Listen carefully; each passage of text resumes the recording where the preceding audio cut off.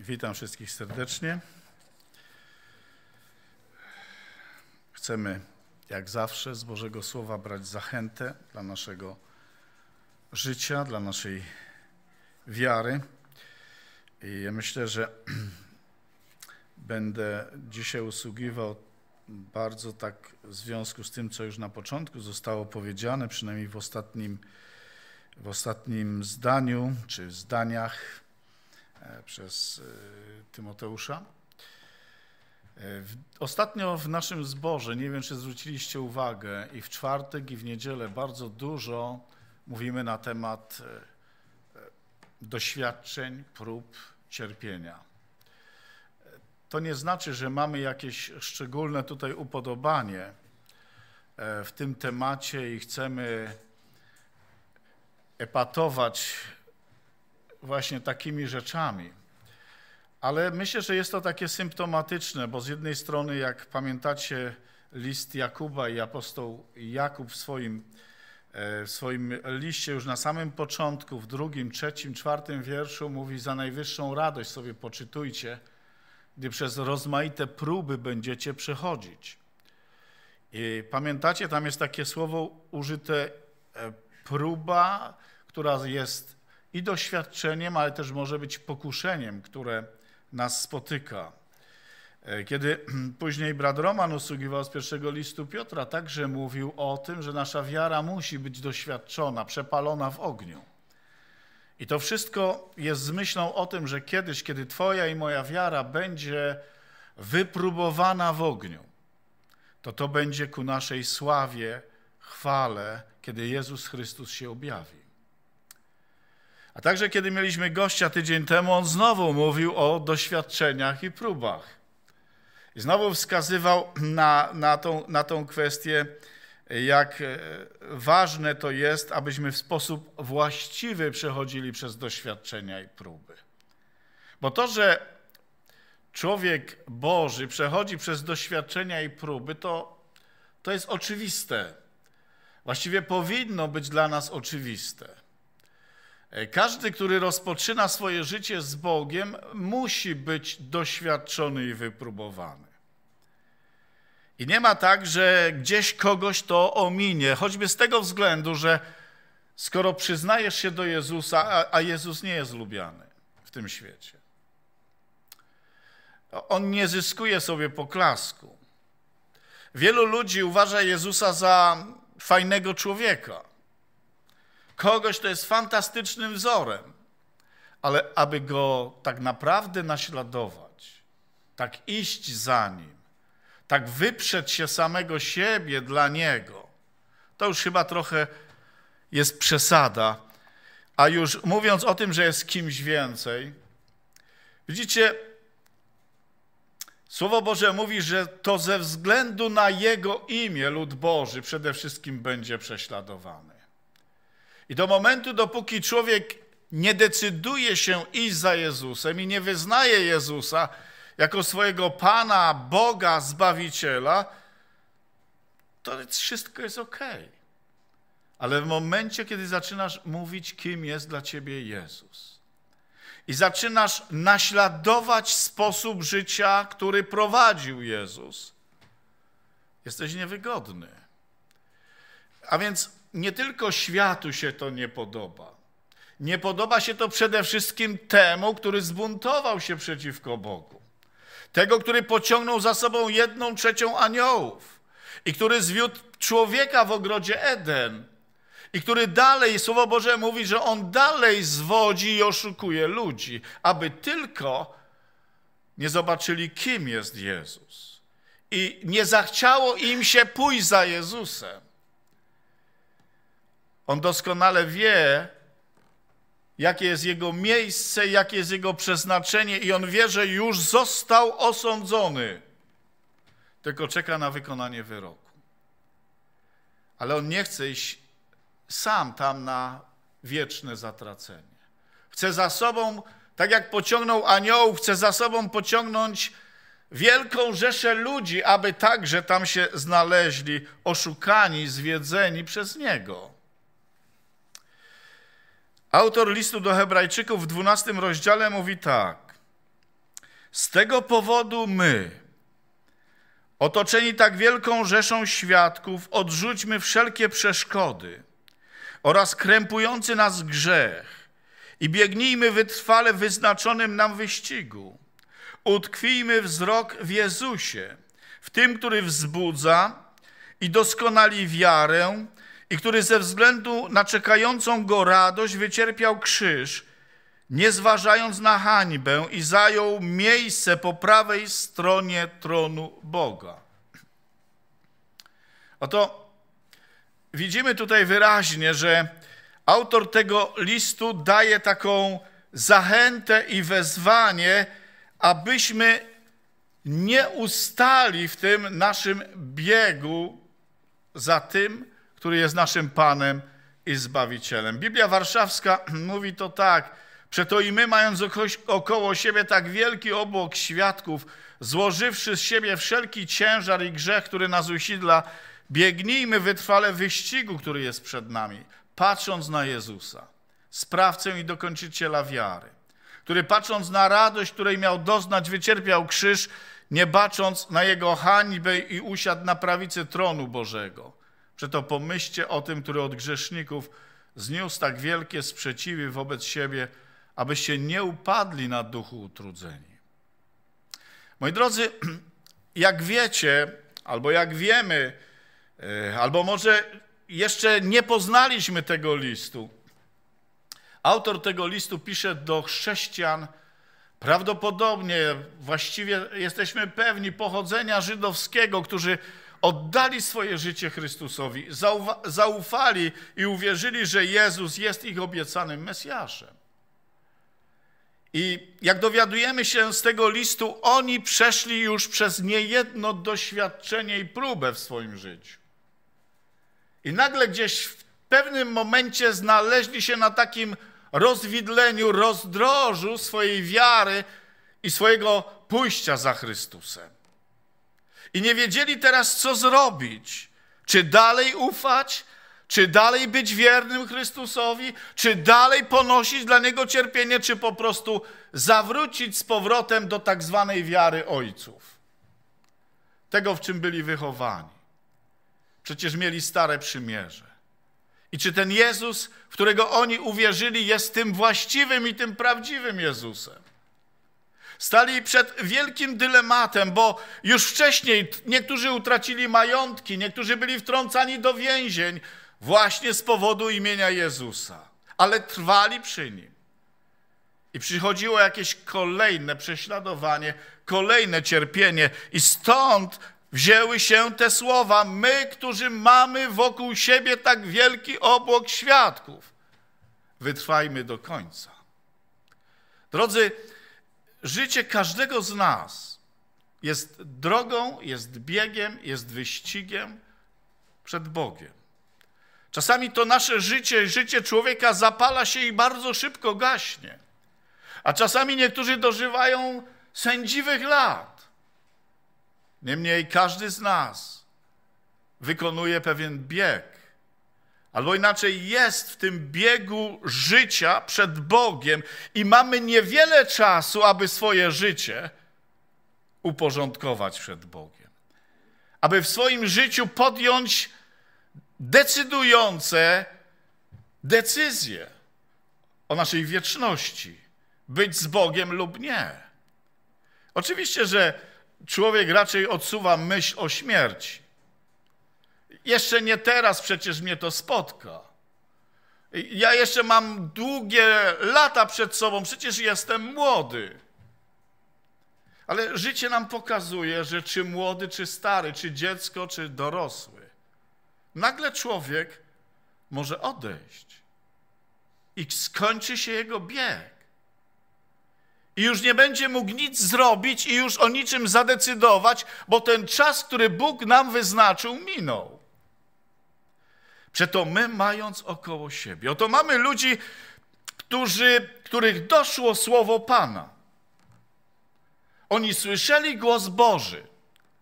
Oni słyszeli wezwanie Boże. Oni poszli za Jezusem. Tu jest napisane o nich, Przeto i my, którzy mamy tak wielki obłok świadków, to byli ludzie, którzy dołączyli do poprzedników. Autor tego listu tak pięknie maluje w jedenastym rozdziale tego listu tych ludzi wiary, którzy doświadczali z jednej strony wielkich wybawień od Boga, wielkiego cudu w swoim życiu, a niektórzy doznawali wielkich cierpień z powodu swojej wiary w żywego Boga. Nawet byli przeżynani piłą. Tradycja żydowska mówi, że tym, który został przecięty piłą, był prorok Izajasz. Za bardzo bezbożnego króla judzkiego Manasesa, który doprowadził do ogromnego zbezczeszczenia świątyni pańskiej. Zajmował się czarami, składał na ofiarę swoje dzieci. Wiecie, to jest dla mnie zdumiewające. Ale kiedy ten człowiek pokutował, Bóg mu przebaczył. To jest zdumiewające. Kiedy on pokutował, Bóg mu przebaczył. Ale to, co on wprowadził, to, do czego doprowadził lud Boży, sprowadziło katastrofę na cały naród judzki, bo poszli za jego przykładem. Bo nie zwrócili uwagi na to, że nie można w ten sposób postępować i, i się za, zachowywać. I on właśnie, proroka Bożego, Izajasza, który prorokował, rozkazał włożyć do pnia, pustego pnia drzewa i, i go przepiłowali. Bezbożny człowiek. Ale później gdzieś tam pokutuje. W każdym razie nie o tym teraz chcę mówić. Chcę mówić o tych, o tym, że ten obłok ludzi, którzy doświadczyli dla imienia Bożego tak wielkich cierpień, wytrwali do końca.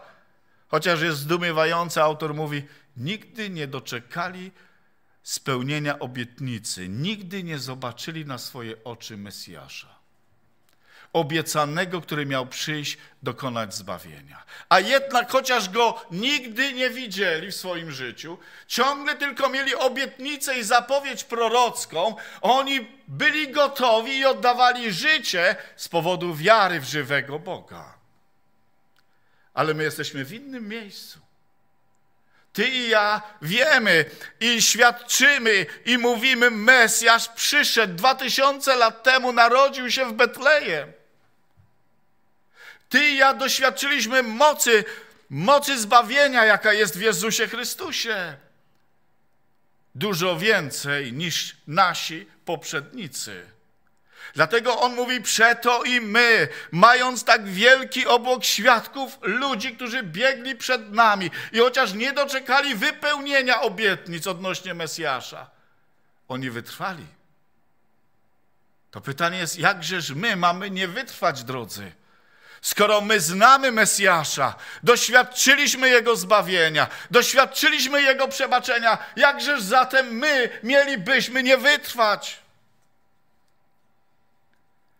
Kiedy czytam ten fragment, przeto i my. Drodzy, my, którzy podjęliśmy decyzję w pewnym momencie naszego życia, nikt nas do tego nie zmuszał. Ty i ja usłyszeliśmy głos Pana. Powiesz, jak? Słyszałeś tak jak Samuel w świątyni rozległ się głos Samuelu, Samuelu? Nie, nikt z nas tak może głosu, chyba że są jakieś wyjątki. Mogą być. Mogą być. Bóg nie jest standardowy w swoim powołaniu, ale przemawia głęboko w sercu Twoim i moim. Mówi do Twojego i mojego ducha, mówi do naszego umysłu i pokazuje nam, kim On jest. Jak drogo nas wykupił i wzywa nas, abyśmy poszli za Nim, zostawili wszystko. Grzech, ciemność, wszystko wszelkie stare relacje, wszystko to, co jest grzeszne i, i poszli bez żadnych warunków z naszej strony, poszli za nim. Wiecie, pewnego razu doszło słowo Pana Abrahama w Ur Chaldejskim, poganina, czczącego księżyc. Człowieka, który, jak już kiedyś mówiłem, prowadził bardzo wygodne życie. To był człowiek na pewno zaradny, bogaty. Wiecie, to nie były czasy tak jak Europa, gdzieś tam średniowiecza i późniejsze, gdzie wylewano wszystkie brudy, ścieki na ulicę do tak zwanego rynsztoku, gdzie załatwiano się, gdzie popadnie. Wydawałoby się, że Europa powinna tutaj być lepsza, ale okazuje się, że nie. Oto tam w Urchaldejskim, tam była kanalizacja, tam była woda, tam się myto, tam się kąpano. O jednym z królów francuskich jest powiedziane, że chyba trzy razy się kąpał w swoim życiu, bo uważał, że to szkodzi. Wiecie, że ludzie nie byli w stanie znieść, jak znaleźli się w jego pobliżu tego okropne. Nie chcę wam mówić o okropniejszych rzeczach, które wyczytałem z historii, ale to było okropne. Abraham prowadził inne życie. I oto Pan do niego powiedział: Wyjdź z domu swego, od rodziny swojej, wyjdź i pójdziesz tam, gdzie ci pokażę. Drodzy, to jest coś niesamowite. Bóg oczekuje, że kiedy On ciebie i mnie wezwie i wzywa, słuchajcie, Bóg wzywa każdego człowieka. Bóg woła każdego człowieka. Jezus wzywa każdego z nas: pójdź za mną. Bez wyjątku. Dlaczego? Dlatego, że Chrystus przyszedł, aby zbawić każdego z nas i oddał życie za każdego z nas. I Jego wezwanie dzięki Bogu jest skierowane do każdego z nas. Wiecie, że nie wszyscy w to wierzą. Niektórzy uważają, że Jezus umarł tylko za pewną grupę wybranych. Ale Słowo Boże mówi, że Chrystus umarł za wszystkich. Amen? Umarł za wszystkich. A więc nie jesteś pominięty w tej miłości, w tym oddaniu, w tej ofierze Jezusa Chrystusa. Nie jesteś pominięty. Bez względu na to, jak daleko odeszliśmy od Boga. Jak daleko odeszliśmy od standardów, które Bóg wyznacza w swoim świętym słowie. Ale to nie znaczy, że Bóg chce, żebyś pozostał w tym, co jest brudne, grzeszne i tam, gdzie jest niewiara. Abraham stał i poszedł. Wiecie,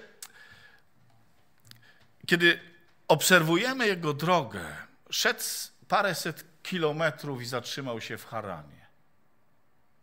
Dopiero jak jego tato zmarł, ruszył tam, gdzie miał iść, do miejsca swojego przeznaczenia, celu, który Bóg mu wyznaczył, do Kanaanu. Popatrzcie, możesz słyszeć głos Pana, Oto zaczynasz ruszać, a może niektórzy ciągle są w blokach startowych, słyszą wyraźnie, że Bóg ich wzywa po imieniu, pójdź za mną. Nie mogą ruszyć. Już jest ten start tego, który wypuszcza wszystkich zawodników, a on ciągle w tych blokach startowych patrzy i zastanawia się, ruszyć czy nie ruszyć. Co cię zatrzymuje? co powoduje, że nie możesz rozpocząć dobrego biegu wiary. Kiedy Jezus przechodził nad jeziorem Genezaret i zobaczył Szymona i Andrzeja, jak płukali sieć, on powiedział do nich: Pójdźcie za mną. A oni zaczęli kombinować. No nie wiadomo, czy warto. Kim on jest? Musimy zostawić wszystko i nasz, naszą pracę i, i rodzinę. Nie, tam nie ma nic. Oni wstali, zostawili wszystko i poszli za nim. To samo, kiedy zobaczył Jakuba i Jana, on naprawiali sieci. Pójdźcie za mną. A kiedy zobaczył tego Lewiego Mateusza przy cle, to był intratny zawód. On musiał być bardzo bogaty. To była dobra praca. I kiedy Jezus mówi, pójdź za mną, on to wszystko zostawia i idzie za nim. Popatrzcie, drodzy, im bardziej się zastanawiasz, im bardziej kombinujemy, im bardziej zadajemy różnego rodzaju pytania, oto głos Boży nas dochodzi i Pan mówi, pójdź za mną, a my ciągle zostajemy w blokach startowych. Ale nawet kiedy ruszysz, kiedy biegniesz, kiedy rozpocząłeś, bo to jest tak jasne i wyraźne, mówisz: Nie, jestem gotów zostawić wszystko. Jestem gotów poświęcić wszystko, aby być z Jezusem i służyć i żyć dla Niego. To nie znaczy, że nie będziesz miał i nie będziemy mieli problemów. Nawet Abraham gdzieś tam utknął po drodze. Haran nie był miejscem, które Bóg mu wyznaczył. On miał iść dalej, ale musiało upłynąć trochę lat. On tam się zatrzymał, zanim ta przeszkoda, że tak powiem, no powie ktoś, no to ładnie, tatę jego nazywasz przeszkodą. Ale wiecie, że bliscy mogą być przeszkodą.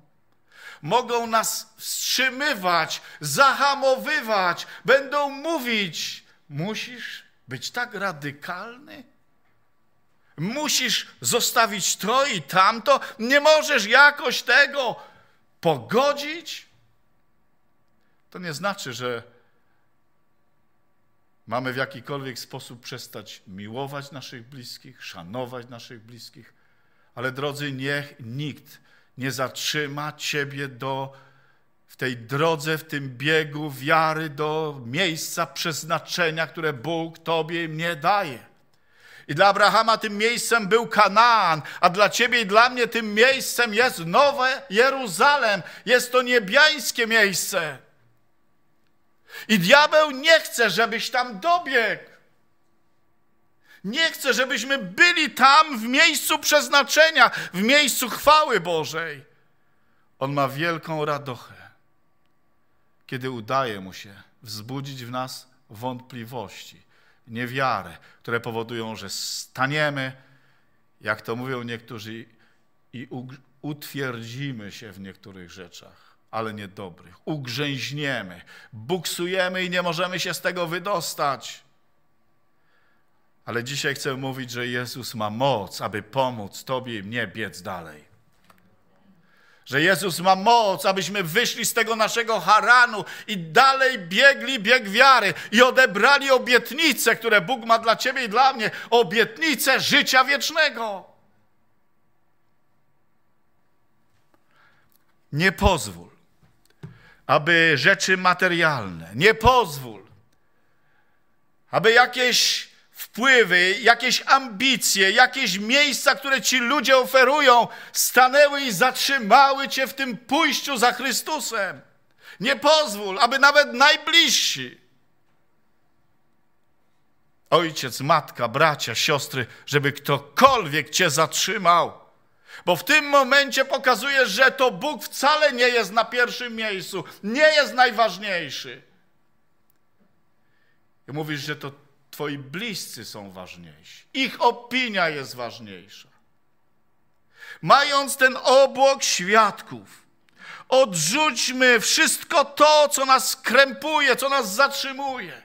Zrzućmy z siebie ciężar i grzech, który, tak jak mówi to słowo, otacza, dosłownie obejmuje, otacza nas i chce nas zatrzymać. Autor tego listu mówi do tych: Słuchajcie, tak fantastycznie zaczęliście. Tak fantastycznie ruszyliście. O, byliście gotowi nawet cierpieć z tymi, którzy byli prześladowani dla imienia Jezus. Nie uciekaliście od nich, stanęliście przy nich, daliście świadectwo, że wy też, tak jak oni, należycie do Chrystusa. Nie baliście się. Ale teraz Oto diabłu udało się wzbudzić w was jakieś fałszywe myślenie, jakieś fałszywe idee, jakieś fałszywe koncepcje i nagle zaczęliście się zastanawiać, czy to jest Jezus? Ja wiem, że przychodzą takie momenty, nawet Jan Chrzciciel miał taki moment zawahania. Pamiętacie? Kiedy jest uwięziony, Herod go uwięził. I on w pewnym momencie posyła swoich uczniów i zapytajcie go, ty jesteś tym, który miał przyjść, czy mamy kogoś innego oczekiwać? A Jezus wtedy mu powiedział przez posłańców, powiedzcie Janowi, Pięknie go pochwalił Jezus. Czym kogo przyszliście oglądać? Człowieka w szaty ubranego, wielkie, bogate? Kogo? Ale chcę wam powiedzieć, ten Jan, ten Jan ubrany w sierść wielbłąda, w skórę wielbłąda, z długimi włosami, ten Jan jest największym z proroków Starego Testamentu. Idźcie i powiedzcie mu, co widzicie. Umarli są skrzeszani, chorzy są uzdrawiani. Powiedzcie mu. I kiedy oni przyszli, powiedzieli, wiara, ufność na nowo, te wątpliwości zniknęły i Pan podniósł wiarę Jana Chrzciciela i już nie wątpił. Kiedy przyszedł kat i ściął mu głowę, on się nie bał. On był gotów zapłacić cenę, oddać życie. Mając tak wielki obłok świadków, widząc, co nasi bracia i siostry przeżywają dzisiaj na świecie, gdzie ponad 100 tysięcy chrześcijan rocznie jest mordowanych ze względu na imię Jezusa. Popatrzcie, nie doświadczyliśmy jeszcze takich prześladowań. Jeszcze nikt nie zagroził ci odebraniem dzieci. Jeszcze nikt nie zagroził ci więzieniem z powodu wiary w Jezusa. Jeszcze nikt nie targnął się na twoje życie z powodu wiary w Jezusa. Ale to wcale nie znaczy, że ty i ja nie przechodzimy przez inne trudności i inne rzeczy. Nie próbuj, przez inne rzeczy diabeł nie próbuje nas uwikłać i zatrzymać w tym biegu. Co jest ważne, na co autor zwraca uwagę? On mówi o wytrwałości, jaką powinniśmy okazywać. Wiecie, fantastyczną rzeczą jest, są chwile takich radosnych, wspaniałych uniesień w Bogu i z Bogiem. Bóg dotyka ciebie i zostajesz natychmiast uzdrowiony. Bóg, jesteś załamany, ale nagle przychodzi Boża obecność i Bóg odnawia Twoje wnętrze i napełnia pokojem, radością, i mówisz: Tak, jestem gotów biec dalej. I takie rzeczy są. I tego doświadczamy, i Bóg działa w ten sposób. Ale czasami jest tak, że idziemy w tak wielkim boju i trudzie. I, teraz, i wtedy jest potrzebna naszej wierze wytrwałość, cierpliwe wytrzymywanie przeciwności. Ciągle ktoś nas atakuje, ciągle coś jest nie tak. Ale ty i ja, krok po kroku, dzień po dniu, dalej idziemy za Jezusem. Halleluja. Dlatego mamy w tym wszystkim, w tym naszym biegu, mamy okazywać cierpliwość, jak mówi nam autor tego, tego listu. Mówi, pismo nam mówi wyraźnie o cierpliwości Hioba. Gdyby nie cierpliwość, gdyby tam jest, to jest wytrzymałość Hioba, która była, w której okazywała się cierp, można by to było przetłumaczyć jako cierpliwe wytrzymywanie wszelkich przeciwności ze względu na Boga. Wiecie, co w tym jest takiego cudownego? Ani uzdrowienia, ani nagle jakaś, jakiś grom z nieba nie spadł i, i chwała Boża. Nie, jest trud, jest wysiłek, jest, są łzy, jest cierpienie, a ty wiernie trwasz przy Panu. Amen? I to ma wielką nagrodę. Bo gdyby nie to cierpliwe wytrzymywanie, dawno byś się poddał. Ale mogę powiedzieć, że to jest znowu łaska, którą Tobie i Bóg nie daje, bo tu jest napisane, że Chrystus jest początkiem i końcem Twojej i mojej wiary. Czyli nie tylko wtedy działał, kiedy mnie powoływał, ja odwróciłem się od grzechu i poszedłem za nim, ale On jest ze mną aż do końca. I podtrzymuje swoją mocą Twoją i moją wiarę. Podtrzymuje i daje siłę, abyśmy wytrwali w licznego rodzaju przeciwnościach. List do Koryntian pierwszy, tam wyraźnie jest napisane, że Bóg nie daje doświadczeń, pokuszeń ponad nasze siły. I czasami chyba dobrze byłoby też sobie powiedzieć, kiedy przechodzimy przez różnego rodzaju duchowe walki i zmagania, kiedy diabeł atakuje nas niewiarą, wątpliwościami, abyś stał mocno i powiedział: Ale ja będę ufał Bogu. Ja to wytrzymam, bo Bóg obiecał, że nie da ponad moje siły, tak? Możemy dokonywać takiego wyznania? Myślę, wręcz trzeba dokonywać takiego wyznania. Biegnijmy zatem wytrwale w wyścigu. Nie dość, że mam być wytrwały, to to słowo wyścig jest ciekawym słowem. To jest słowo, które brzmi agon. Od niego jest agonia. Czyli biegnij wytrwale w tej agonii walki, którą toczysz i czasami, moi drodzy, jest taka sytuacja, że mówisz, jestem bliski śmierci. Nie tylko Hiob to mówił w swoich cierpieniach, ale ty i ja możemy w naszych doświadczeniach, naciskach, atakach ze strony sił ciemności dochodzić do takiego momentu, mówisz, jestem bliski śmierci. Ale Bóg powiedział, że nigdy ciebie i mnie nie opuści. Nigdy ciebie i mnie. On jest początkiem i końcem naszej wiary. A więc biegnij wytrwale w tym boju, w tej walce, w, tej, w tym zmaganiu, w tej agonii, którą czasami przeżywasz. Nie poddawaj się. Co może mi pomóc? Autor tego listu mówi: zrób dwie rzeczy. Żebyś miał siły biec dalej, musisz zrobić dwie rzeczy. Po pierwsze, mówi: złóżcie z siebie wszelki ciężar i wszelki grzech. Drodzy, sami doskonale wiecie, że jeżeli coś jest nie tak zrobimy, oskarża nas sumienie, nie mamy siły stać przed Bogiem. Nie mamy odwagi stanąć przed Bogiem. Nie mamy nawet go odwagi prosić, bo wiemy, że coś jest nie tak. Wiemy nawet konkretnie, co jest nie tak. I muszę ten grzech, tą nieczystość, tą nieprawość wyznać przed Bogiem i porzucić.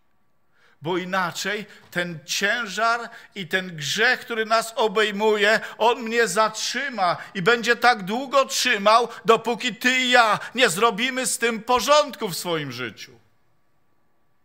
Będziemy ciągle kręcić się w tym samym miejscu a miejsce przeznaczenia jest dalej. Mamy biec, aż osiągniemy miejsce przeznaczenia.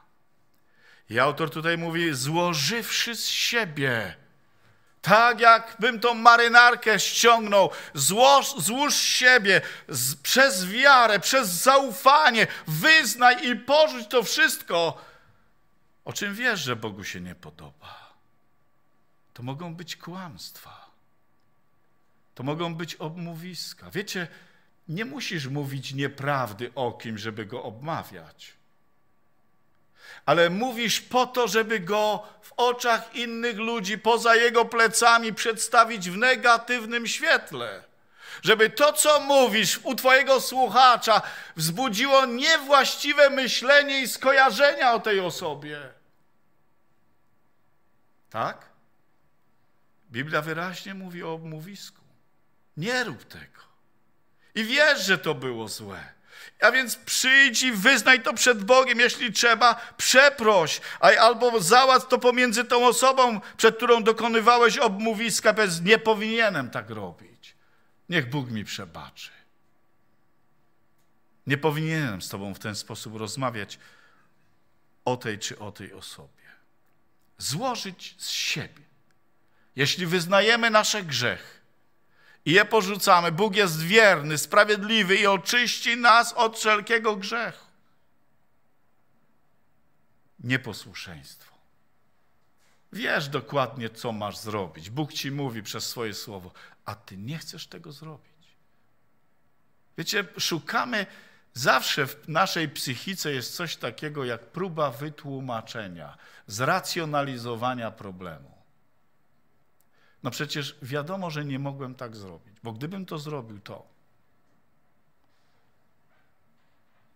I racjonalizujemy. A bo oni też tak robią, to ja też tak mogę przecież. Popatrzcie, ze studentami mówiłem w minionym tygodniu o doświadczeniach Samuel, który był wypróbowany co do swojego charakteru jako dziecko, młodzieniec, będąc w świątyni Pana. Tam widzi zepsucie, grzech, liderów, przywódców. Jest zdumiewające, że ten młody człowiek jest tak dojrzały. Jest tak dojrzały. Mówi: Nie będę więcej słuchał Helego, nie będę słuchał jego synów, nie będę robił tego, bo oni jak oni żyją, to znaczy, że ja też tak mogę. Nie. On nadal jest poddany Bogu, on nadal jest poddany Heliemu, ale stroni od tego wszystkiego, co ci ludzie robią. I zachowuje swoje życie i serce i umysł w czystości. Halleluja. Drodzy, to jest niesamowita postawa. Niesamowita postawa. I dowiedział się cały Izrael, że Pan wybrał Samuela na swojego proroka, bo wszystko, co on mówił, spełniało się. Dlatego, że Samuel postanowił wytrwać w czystości i świętości. Dlatego, że Samuel nie pozwolił, aby się brudzić tymi samymi rzeczami. Przecież diabeł mu szeptał, takiemu młodemu człowiekowi, czy ty nie widzisz, co się tu dzieje? Daj sobie spokój z tym Bogiem. Daj sobie spokój z tym wszystkim. Ale on wiedział jedno: Bóg się nie zmienił, jest nadal święty. Jest nadal sprawiedliwy. I w swoim czasie to Pan osądzi każdego człowieka. Amen. To Pan wymierzy sprawiedliwość, ale ja będę pilnował swojego serca i swoich szat. Diabeł, szatan, kłamca jest perfidny. Jak bardzo łatwo chce doprowadzić do zgorszenia. Wiecie, czym jest zgorszenie? Ten, który się gorszy, to słowo gorszy oznacza, że wpada w pułapkę. To słowo gorszyć się to oznacza. Wpaść w pułapkę. Wpaść w dół. A Bóg mówi, kiedy biegniesz, pamiętaj o dwóch rzeczach. Złóż siebie, przyjrzyj się sobie, odrzuć od siebie wszelki grzech, wszelki ciężar. Wiecie, tu może być pycha, tu może być zazdrość, bo ktoś ma więcej, ale też jest zazdrość duchowa. Tego Bóg więcej używa, dlaczego nie mnie? ten jest jakby bardziej błogosławiony, dlaczego ja mniej?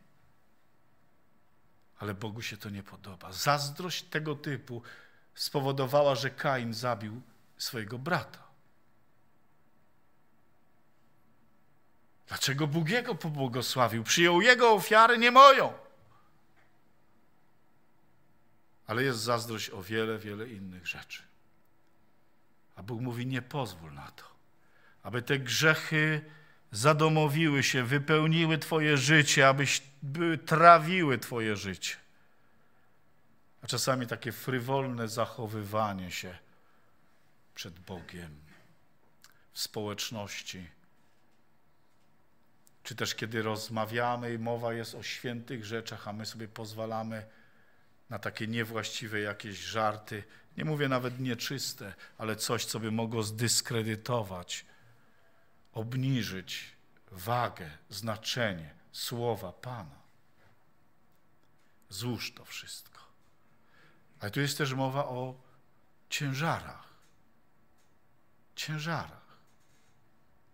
Nasze troski, nasze zmartwienia, nasze myślenie, co będzie jutro. Czy dam radę? Czy sobie poradzę? A nie wiadomo, co jeszcze wymyślą na tym świecie. A wymyślają różne rzeczy. Już teraz nie wiadomo, kto jest bardziej chroniony.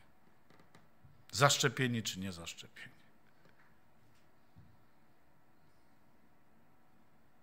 Jedno i drugie nie pomaga. I ci chorują, i ci chorują. No ale wiadomo, że problem jest, że ci, co nie zaszczepieni, to oni tak to wszystko. Różne są pomysły.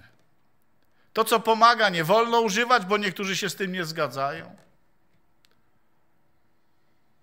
Ale ty, człowieku Boży, złóż ciężar. Ufaj, że ten, który powołał ciebie do życia z sobą samym, będzie wierny do końca i nie zawiedzie ciebie. Amen. Nie bój się. Ale patrz z wiarą i z ufnością, a może trzeba będzie, że oddasz życie. Bo nikt nie gwarantuje ci, że nagle przyjdzie cudowne wybawienie. Ono może przyjść, a może Pan będzie chciał Cię zabrać w tej chwale cierpienia dla imienia Jezus. Bo wiecie, że to ma szczególne też znaczenie u Boga. Że wielka nagroda jest dla tych, którzy wręcz życie oddają dla Chrystusa. Oczywiście to nie jest kupienie sobie zbawienia przez śmierć, ale nagroda jest za wierność do końca. Przeto złóżmy z siebie. Jak mogę to złożyć? Przez zaufanie, przez wiarę. Nie wychodź z tego miejsca.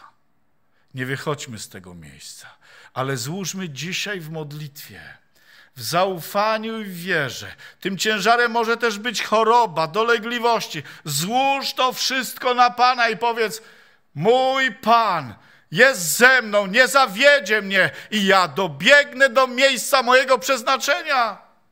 I nie pozwolę, żeby ciężary, żeby grzech i ciężary owładnęły, zupełnie zdusiły i zabrały mi radość zbawienia i zatrzymały mnie w tym dążeniu do celu, do wiecznego celu. I druga rzecz, słuchajcie, niesamowicie ważna. Patrzmy na Jezusa, sprawcę i dokończyciela. Patrz na Jezusa. Jeżeli Syn Boży ruszył ze swoich bloków startowych, aby nas zbawić. Kiedy tylko przyszedł czas, ojciec mówi: Teraz jest czas. On narodził się w Betlejem, zostawił chwałę, zostawił wszystko.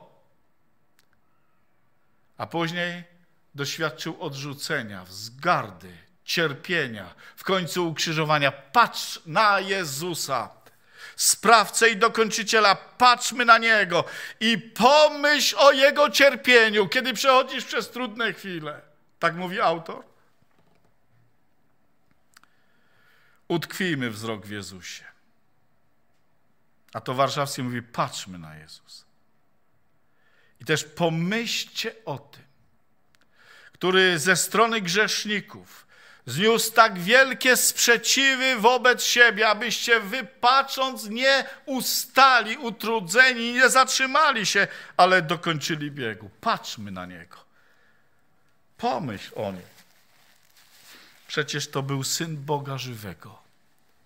Król królowi, Pan panów. Jak ma, możesz myśleć? Jak możemy myśleć?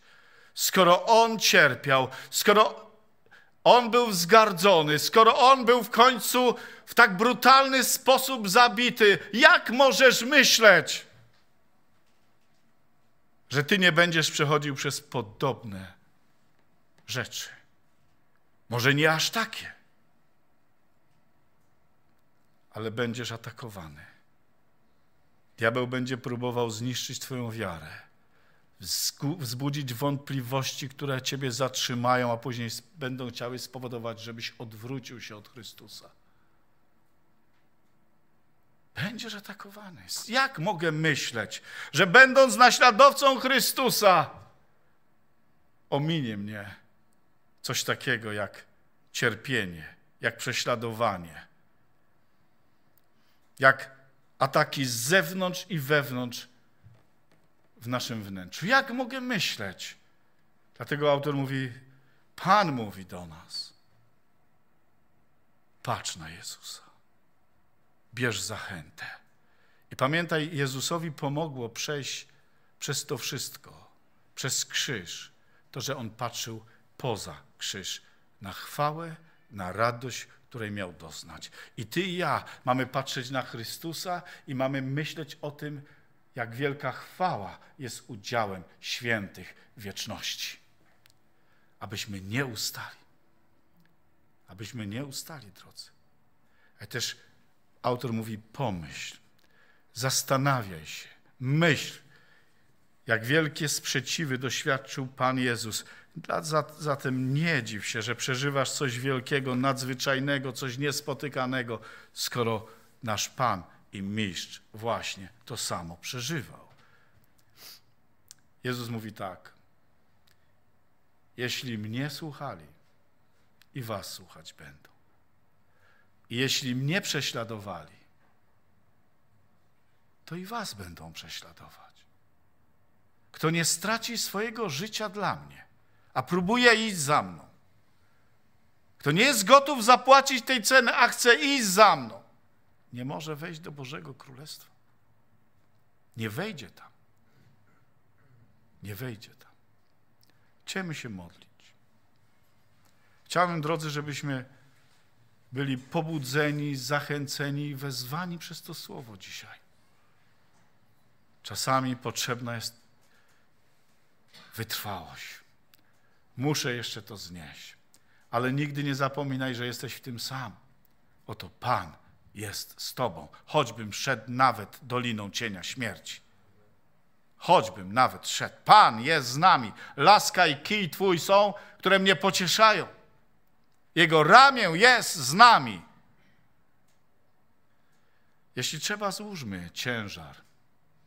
Powiesz, nie wiem, co będzie. Co z pracą? Co z zaopatrzeniem materialnym? Złóż to na Pana. Ufaj Bogu. Oddaj chwałę, nie narzekaj, zacznij dziękować i wielbić Boga, że Bóg jest z Tobą. Amen. Nie pozwól, żeby diabeł deptał, doprowadzał cię do rozpaczy. Ale zacznij Bogu dziękować za Jego dobroć, za Jego wierność, za Jego troskę. Kto okazuje Panu wdzięczność, ten go czci. Tak jest, mówi Słowo Boże. Ale kto narzeka, nie czci go. Cały czas pokazuje na swoją niewiarę. Przestań. Zacznijmy go czcić, wielbić, dziękować. Łatwo jest dziękować, gdy wszystko idzie dobrze. Ale wtedy, kiedy wydaje się, że już nic dobrego nie będzie, zacznij Boga chwalić i dziękować. A zobaczysz cuda. I Boża ręka cię poprowadzi. Jeśli trzeba, wyznajmy grzech. Porzućmy grzech. Ale też patrzmy z ufnością na Pana. Halleluja. Chcemy się modlić. Wiecie, nie chcę, żebyście wstawali. Tak jak siedzicie, pochylmy nasze głowy. Jesteśmy przed Bożą, Bożym, Bożą obecnością. Pomyśl, czy wyruszyłem już za wezwaniem Pana, pójdź za mną, czy ciągle jestem w miejscu? Już wielokrotnie Bóg do ciebie mówił. A może wyruszyliśmy ale coś nas teraz wstrzymało, zatrzymuje nas i nie wiemy, co zrobić. Oto złóż na Pana ciężar i grzech. Pozwól Bożej łasce i mocy działać. Pozwól, aby święta krew Jezusa oczyściła Ciebie. Przez wiarę przyjmij przebaczenie, oczyszczenie. Ale też przez wiarę przyjmij siłę i moc, aby biec dalej. Dziękujemy Ci, Boże za Twoją wierność, za Twoją dobroć. Panie, nie chcemy zatrzymać się w Haranie, nie chcemy zatrzymać się w jakimkolwiek miejscu, które nas, Panie, może, może nam zabrać, obrabować nas z tego celu, przeznaczenia, jakim jest Twoja obecność i chwała wieczna. Panie, pomóż nam, ilekroć potrzebujemy, rozprawić się w sposób właściwy z brzemionami, ciężarami, ale też z grzechem w naszym życiu. Panie, abyśmy go nie tolerowali dłużej w naszym życiu. Panie, modlę się też o tych, którzy ciągle są w miejscu. Kiedy jest Boże wezwanie, oni jakby albo nie słyszą, albo nie chcą słyszeć wezwania, aby biec za Tobą. Dotyka ich serc. Ojcze, abyśmy mogli rozpocząć bieg wiary. Panie, Tobie niech będzie chwała. Modlę się teraz, aby były składane brzemiona, ciężary, troski o jutro, o przyszłość. Panie, Ty widzisz, jakie są czasy i sam zapowiedziałeś, że będą trudne czasy. Ale wierzymy, wyznajemy teraz, dzisiaj, że Ty jesteś z nami, że Ty nas nigdy nie zostawisz i pomożesz nam przejść. Panie, jeżeli jest jakakolwiek choroba, Panie, chcemy ciągle o tym Ci mówić i chcemy to złożyć na Ciebie, oczekujemy uzdrowienia od Ciebie, pomocy od Ciebie. Wkrocz w naszą sytuację, Panie. Przyjdź i pomóż nam, kiedy nasza wiara się chwieje. Teraz przyjdź i pomóż nam i podnieś, tak jak Jana Chrzciciela. Panie, chwała Tobie. Chwała Tobie. Halleluja. Niech nas Pan błogosławi.